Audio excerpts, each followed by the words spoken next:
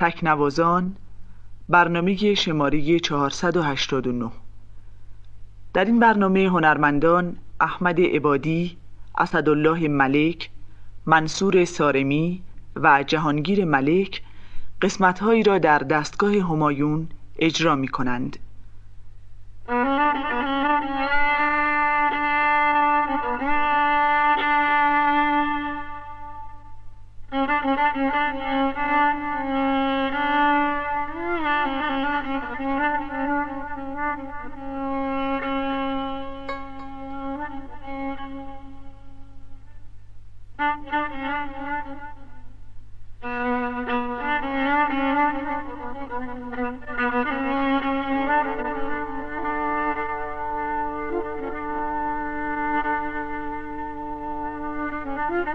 Thank you.